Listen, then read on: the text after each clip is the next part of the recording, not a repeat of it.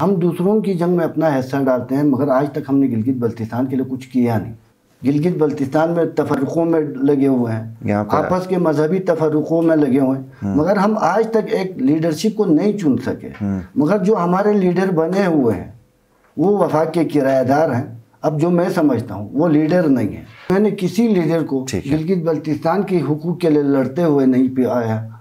हर किसी को इकतदार की जंग लड़ते हुए मैंने देखा। गिलगित बल्तिस्तान की जंग लड़ते हुए नहीं देखा। अगर ये आइनी उबूरी सूबा अगर गिलगित बल्तिस्तान को बनाया गया हम्म। तो गिलगित बल्तिस्तान वालों की गिलगित बल्तिस्तान में शिनाख्त ख़त्म हो जाएगी। मैंने आपको पहले कहा गिलगित बल्तिस्तान वाले गिलगित बल्तिस्तान में ना मालिक के तौर पर रहेंगे ना हाकिम के तौर पर रहेंगे एज ए किराएदार रहेंगे।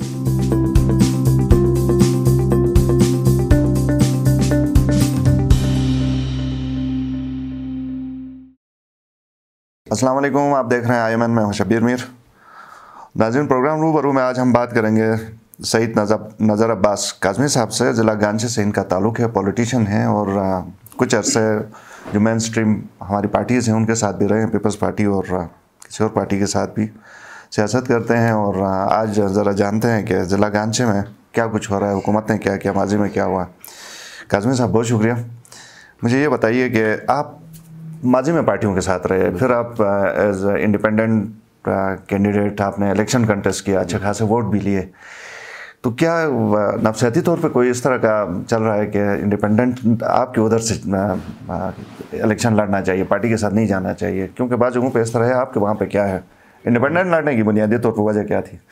अऊज़बिल्लिमिनशैतानिर्रहमानिर्रहीम सबसे पहले शब्बीर भाई, आपका शुक्रिया अदा करता हूँ। आप गिलगित बल्तिस्तान में शूर के हवाले से बहुत अच्छे काम कर रहे हैं, मेहनत कर रहे हैं इस चैनल का और इस टीम का शुक्रिया अदा करता हूँ कि हमारे इलाके में हमें शूर की बहुत ज़रूरत है गिलगित बल्तिस्तान के लिए जो आप कर रहे हैं।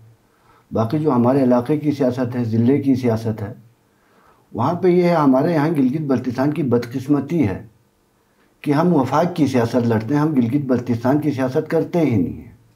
इस दफ़ा भी जो आज़ाद लड़े, वो मजबूरन आज़ाद लड़े, क्योंकि उनको किसी की नौकरी करने की टिकट नहीं मिली। यहाँ पे हम सियासत नहीं करते हम वफाक की नौकरी करते हैं। हम्म। अगर गिलगित बल्तिस्तान के अवाम गिलगित बल्तिस्तान के हक हकूक़ के लिए लड़ने वालों को सियासत में लाते हम वफाक की नौकरी ना करते मैं सियासी पार्टियों में रहा नौ साल में एम में रहा चार से पाँच में साल में पीपल्स पार्टी में रहा तो बाकी मुस्लिम लीग दिगर जो वफाकी पार्टी हम देख रहे हैं तो वो सिर्फ़ हमें किराएदार बन के रखना चाहते हैं मुलाजिम बना के रखना चाहते हैं। वो बिल- गिलगित बल्तिस्तान के हक हकूक़ के हवाले से हमारी आवाज़ दबा के रखना चाहते हैं। अब तक मैंने गिलगित बल्तिस्तान की सियासत में गिलगित बल्तिस्तान के लिए कोई सियासत देखी ही नहीं। हम दूसरों की जंग में अपना हिस्सा डालते हैं मगर आज तक हमने गिलगित बल्तिस्तान के लिए कुछ किया नहीं। तो इसका क्या हल है? खैर आपके हल्के के मसाइल की तरफ़ आते हैं लेकिन चूँकि सवाल बात इस तरफ़ से जा रही है फ़र्ज़ करें अगर मेन पॉलिटिकल पार्टीज़ के अंदर बैठ के अगर हम अहम किरदार अदा नहीं कर सकते हैं तो हमारे पास और क्या प्लेटफॉर्म है? आज़ाद उम्मीदवार ज़्यादा से ज़्यादा जीत के कर तो आगे कुछ नहीं सकता ना। मेरी गिलगित बल्तिस्तान के जो नौजवान हैं, पढ़े लिखे, उनसे मेरी गुजारिश है। वो सियासत में दिलचस्पी लें। वो सियासत को जाहिलों के हाथ में ना डालें। आप पढ़ते हैं, पीएचडी करते हैं, सीएसएस करते हैं तो आपकी कोई मकसद होनी चाहिए, कोई सोच होनी चाहिए। आप सीएसएस भी नौकरी करने के लिए करते हैं आप पीएचडी भी नौकरी करने के लिए करते हैं मुलाजिम बनने के लिए करते हैं। ठीक है। अगर नौजवान आगे आए जो शूर रखते हैं जो सोच रखते हैं जो मुस्तबिल की सियासत को जानते हैं और दौर हाजिर के हिसाब से वो सियासत कर सकते हैं वो आगे आएँगे तो सियासत में बेहतरी भी आएगी। सही। और गिलगित बल्तिस्तान को हक हुकूक सही। आपने एम क्यू एम के साथ नौ साल काम किया है। बिल्कुल सही। ठीक है। गिलगित बल्तिस्तान में आपका अच्छा खासा उस वक्त यानी रोल था पार्टी के साथ आपकी। आ, किसी हद तक काफ़ी गुर्बत के आपके ताल्लुकात थे। तो अल्ताफ़ साहब उस ज़माने में बड़ी उनकी से थी। तो उनको कैसा पाया? फिर छोड़ने की वजह कोई ख़ास पॉइंट था जिसके ऊपर आके कि आपने कहा कि छोड़ना चाहिए? एम क्यू में इसलिए गया था मैं वहाँ पे जो है बल्तिस्तान की एक तंजीम थी बी एस एफ़ वो Karachi A P M S O से पहले वजूद में आई थी। A P M S O जो है बाद में वजूद में आई कराची? बी एस एफ़ के कराची में। ठीक है। तो हमने देखा कि बी एस एफ़ उसी स्टेज पर आज तक भी है। ठीक क्योंकि उस हिसाब से स्ट्रगल नहीं की। मुहाजिर जो थे वो हिजरत करके आए थे। उन पे गद्दारी के इल्ज़ाम भी लगे।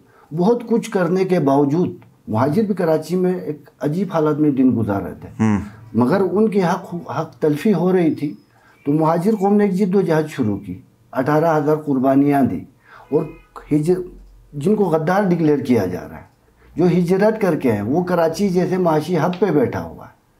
और जिन्होंने पाकिस्तान को ये खत्ता तोहफे में दी वो आज भी आइन से नहीं है कोई आइन कोई कानून नहीं है।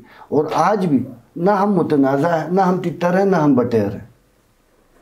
सही। अल्ताफ साहब को आपने कैसा पाया? कभी मुलाकात फ़ोन हुसैन पे को- हुई है आपकी? बहसीत कौम मैं महाजिर कौम को मान तस्लीम करूँगा। ठीक। क्योंकि उन्होंने अल्ताफ़ हुसैन जैसे एक बंदे को लीडर चुना। गिलगित बल्तिस्तान की बदकिस्मती यही है। गिलगित बल्तिस्तान में तफरक़ों में लगे हुए हैं। आपस के मजहबी तफरक़ों में लगे हुए हैं। मगर हम आज तक एक लीडरशिप को नहीं चुन सके। मगर जो हमारे लीडर बने हुए हैं वो वफाक के किराएदार हैं। अब जो मैं समझता हूँ वो लीडर नहीं है। गिलगित बल्तिस्तान के अवाम को अब भी सोचना चाहिए। नौजवानों को सोचना चाहिए। और हमें एक लीडरशिप का जो है चुनाव करना चाहिए जो गिलगित बल्तिस्तान के लिए बेहतरीन तरीके से लड़ सके। सही पीपल्स पार्टी के साथ आपका कितना अरसा एसोसिएशन आपकी रही? पीपल्स पार्टी के साथ मेरा तकरीबन चार से पाँच साल। मेदिशा साहब को आपने कैसा पाया? बहजत कायद? बहसीत कायद में यही कहूँगा कि मैंने किसी लीडर को गिलगित बल्तिस्तान के हुकूक के लिए लड़ते हुए नहीं पाया हर किसी को इकतदार की जंग लड़ते हुए मैंने देखा गिलगित बल्तिस्तान की जंग लड़ते हुए नहीं देखा। हम्म, ठीक है। अच्छा थोड़ा सा पहले हल्के की तरफ़ आते हैं उसके बाद फिर चूँकि ये जिस तरह की गुफ्तु हम कर रहे हैं मेरे ख्याल में ये फिर हमारा सारा टाइम का जाएगा। तो हल्के में इस वक्त हाजी अब्दुल हमीद साहब हैं फिर मुश्ताक साहब हैं। एक साल तकरीबन होने को आया है इनका। तो कुछ तब्दीली में महसूस कर रहे हैं? वही चीज़ें हैं। यहाँ पे तब्दीली हम महसूस कर ही नहीं सकते क्योंकि हम एडीपी की सियासत करते जो एडीपी होती है उसी पे हमारी सियासत होती है। हमारा का हमारी सियासत का महवर एडीपी है। जब तक हम उस महवर से नहीं निकलेंगे। देखो आपको आवाम जो है इतने वोट देके नुमाइंदा मुंतखब करती है। तो आप बहुत सारे सोर्सेज से ज़िले की आवाम की खिदमत कर सकते हैं हल्के की आवाम की खिदमत कर सकते हैं। अभी आप उनकी खिदमत के हवाले से देखें तो गांछे के जो हॉस्पिटल में अठारह डॉक्टर्स हैं हम्म, मगर वो अठारह डॉक्टर्स तनख्वाह गांछे से लेते हैं। ठीक। उनकी एलपीसी गांछे में है मगर उनकी ड्यूटी जो है गिलगित बल्तिस्तान के दीगर अजला में है। वो उनको लाने में नाकाम हुए। पिछली दफ़ा हमने एक धरना दिया था। वहाँ पे गायनी नहीं है। गिलगित बल्तिस्तान में गांचे बहुत बड़ा ज़िला है। वहाँ पे अब तक गायनी नहीं है। छोरबट में एक डॉक्टर को बड़ी मुश्किल से हमने सब डिवीज़न छोरबट में भेजा था। वहाँ उस हॉस्पिटल को आर्मी चला रही थी। हम्म, आर्मी खुद भी ठीक से नहीं चला रही। न सिविलियन को उसमें मुदाखलत इतनी करने की हिम्मत होती है। अभी डॉक्टर साहब वहाँ बैठे हुए हैं। उनको क्वार्टर नहीं मिल रहे सही जो आपने प्रोटेस्ट किया था जो धरना वगैरह दिया था उसके बाद से कुछ बेहतरी आई है? गायनी की है, डॉक्टर नहीं आई बेहतरी है। गायनी भी है वहाँ पे और कुछ। डॉक्टर्स भी आए मगर हमने चीफ सेक्रेटरी से ये मुतालिबा किया था हाँ। कि गिलगित गांछे से जितने तनख्वाह लेने वाले डॉक्टर्स हैं हम्म, वो गांछे में वापस लाया जाए। वो अठारह हैं और सारे बाहर हैं। अभी कितने आ गए हैं वापस? अभी वहाँ पे तीन से चार डॉक्टर्स हैं। अच्छा। तो ये सिलसिला धरनों का एहतजाज का फिर जारी रखने का प्रोग्राम है। अगर नहीं आते हैं पूरे तो हम कोशिश कर रहे हैं हाँ। कि गवर्नमेंट को भी हाँ। और इंतज़ामिया को भी समझा कि ये मसला मुकम्मल तरीके से हल हो जाए।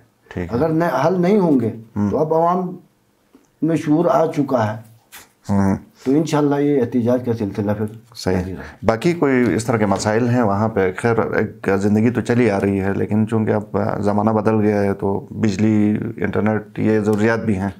अभी वहाँ पे एनर्जी का थोड़ा है मसला।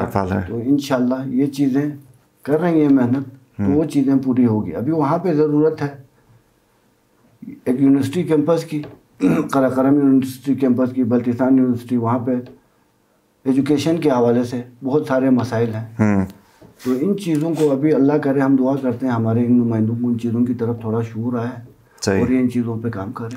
ठीक है तो पाकिस्तान तहरीक इंसाफ वफाक में भी यही बरसर इकतदार है जीबी में भी है। अगरचे आप ज़्यादा उनकी इनको मानते तो नहीं हैं लेकिन एक साल का जो पीरियड है इसमें तारीखी जो डेवलपमेंट पैकेज की बात ये लोग कर रहे हैं इसको आप नहीं मानते। तीन सौ पचहत्तर अरब अभी है ये तारीखी ये पैकेजेस से और ये नोटिफिकेशन से गिलगित बल्तिस्तान को अब नहीं चलाया जा सकता। गिलगित बल्तिस्तान के नौजवान अब बाशूर हो चुके हैं। अब हमें मुकम्मल हुकूक चाहिए। अगर आप हुकूक नहीं दे सकते तो आप स्टेट सब्जेक्ट रूल को बहाल करें। अभी आप देखें गिलगित बल्तिस्तान को जो है किस खाते में डाला जा रहा है हमें समझ में नहीं आ रहा। देखो यहाँ पे स्टेट सब सब्जेक्ट रूल को बहाल करना होगा। अब आवाम को भी जागना होगा। नहीं तो मैं कह रहा हूँ पाँच साल के अंदर जो मैं हालात देख रहा हूँ जो वफाक की यहाँ पे मुदाखलत देख रहा हूँ गिलगित बल्तिस्तान के आवाम को ये लोग गिलगित बल्तिस्तान में एज ए किराएदार देखना चाहते हैं ना मालिक देखना चाहते हैं ना हाकिम देखना चाहते हैं। हमें जागना होगा। तो ये जो अभी अभी अबूरी आइनी सूबे की बात हो रही है इससे तो पेशरफ इसको तो पेशरफ कहते हैं नहीं? मैं आपको ये कहूँगा अगर ये आइनी अबूरी सूबा अगर गिलगित बल्तिस्तान को बनाया गया हम्म, तो गिलगित बल्तिस्तान वालों की गिलगित बल्तिस्तान में शिनाख्त ख़त्म हो जाएगी। मैंने आपको पहले कहा गिलगित बल्तिस्तान वाले गिलगित बल्तिस्तान में ना मालिक के तौर पर रहेंगे ना हाकिम के तौर पर रहेंगे एज ए किराएदार रहेंगे। तो ये मालिक हाकिम किस तरह रहेंगे? आपके ख्याल में क्या तरीका हमें अपने हक हकूक़ के लिए जागना होगा। जैसे बहुत सारी कौमों ने की है। एक जिद्दोजहद की है एक प्रोटेस्ट की है। एक ज़िंदा कौम होने का सबूत देना होगा। हमें अमलन हकीकतन कुछ करना होगा सही। नहीं कोई अपनी पॉलिटिकल पार्टी बनानी होगी या क्या तरीकेकार क्या होगा? के तौर पे गिलगित बल्तिस्तान के जितने वफाक परस्त हैं जो अपने आप को लीडर कहते हैं उन साहब को एक प्लेटफार्म पे आना होगा अगर आप वाकई में गिलगित बल्तिस्तान से मुखलिस हैं वाकई में आप गिलगित बल्तिस्तान को चाहते हैं तो आप गिलगित बल्तिस्तान के लिए एक पॉलिसी बनाएँ। आप वफाक के सामने डट जाएँ खड़े हो जाएँ। कश्मीर को हक हकूक मिल सकता है कश्मीर को अरबों रुपए की ए मिल सकती है फंड्स मिल सकता है तो गिलगित बल्तिस्तान को क्यों नहीं मिल सकता? तो ये जो तारीखी बजट जिसको कहते हैं ये आपके ख्याल में नहीं मिलेगा? कागज़ी कार्रवाई है। अभी ये है अभी जो पाकिस्तान के माशी हालात हैं वो आप देख रहे हैं। वही यही इमरान खान साहब थे हमारे वज़ीर अजम हैं हम एहतराम करते हैं मुल्क के वज़ीर अजम हैं। मगर इन्होंने कहा था जब पेट्रोल की कीमत बढ़ेगी तो समझें मुल्क का मुंतखब वज़ीर अजम चोर है। डीजल की कीमत बढ़े डॉलर की कीमत बढ़े। आज वही उस पर बैठा हुआ है। दूसरे हुकूमत में तो वो इस्तीफे का मुतालबा करता था। अगर यही सिस्टम है तो इमरान खान साहब को खुद इस्तीफा देना चाहिए क्योंकि माशी हालात ठीक नहीं है। नवाज़ खान नाजी की सियासत कैसे देखते हैं आप? नवाज़ खान नाजी की सियासत तो गिलगित बल्तिस्तान के जो हक परस्त नौजवान हैं वो उनको पसंद करते हैं। शायद अबूरी सूबे का करारदाद था या कोई और करारदाद था उस दिन वो असम्बली में नहीं थे। तो ये मेरे एक जहन में एक शकूक व शुबहा है कि वो उस दिन असम्बली में क्यों नहीं थे जो गिलगित बल्तिस्तान के हक हकूक़ के लिए लड़ने वाला बेटा है उस दिन लड़ने के बजाय गायब था। ये मेरे एक जहन में तशवीश है उनका जवाब। उनके जवाब का हम इंतज़ार करेंगे। बिल्कुल। कोई वरना शकूक व शुबात हैं। नहीं तो उस दिन उनका असम्बली में होना वाजिब था। अभी जो असेंबलियों में जिस तरीके के नुमाइंदों को लाया जा रहा है क्योंकि गिलगित बल्तिस्तान का एक रास्ता मुतन करने जा रहा है। इसलिए ऐसे लोगों को लेके आया जा रहा है जो हर चीज़ पे हाँ सही। तो ये जो असम्बली है मौजूदा असम्बली आपके ख्याल में ऐसे ही है? हमारे यहाँ पे असम्बली ही नहीं है। ये असम्बली वालों की मुलाजिमत करने और उनके आर्डर को तस्लीम करने वाला एक इदारा है। सही। ठीक। तो अगर आपको किसी वफाकी पार्टी से शमूलियत की ऑफ़र मिलती है दावत देते हैं तो आप कबूल करेंगे नहीं? वफाकी पार्टियों से शमूलियत की आफर्स भी आ रहे हैं। जब इलेक्शन लड़ रहा था तब बहुत सारे आफर्स भी हुए। मैं सिर्फ़ मेरी ख्वाहिश है किरदार में इतना अच्छा नहीं हूँ। हर तरीके से मैं इतना अच्छा नहीं हूँ। मगर मैं ये चाहता हूँ मैं मरूँ तो भी गिलगित बल्तिस्तान के लिए कुछ करके मर जाऊँ। और अगर आपको कुछ शराइ की बुनियाद पर गालिबा मुझे ये लगता है कि उनकी तरफ़ से जो ऑफ़र आएगी उसकी आपकी तरफ़ से कुछ शराइ होंगे उसको कबूल करेंगे तब आप जाएँगे। गिलगित बल्तिस्तान के हक हकूक़ पे कोई सौदा ना हो। गिलगित बल्तिस्तान के लिए काम किया जाए और जो हमारे हकूक़ हैं हमें दिया जाए। अगर ऐसी कोई पार्टी हुई तो शायद जाऊँ। नहीं तो इन पार्टियों में अब मेरा कोई ठीक। बहुत शुक्रिया सईद नज़र अब्बास काजमी साहब प्रोग्राम में आने के लिए। नाजिन प्रोग्राम देखने का शुक्रिया। फीडबैक दीजिएगा अल्लाह हाफ़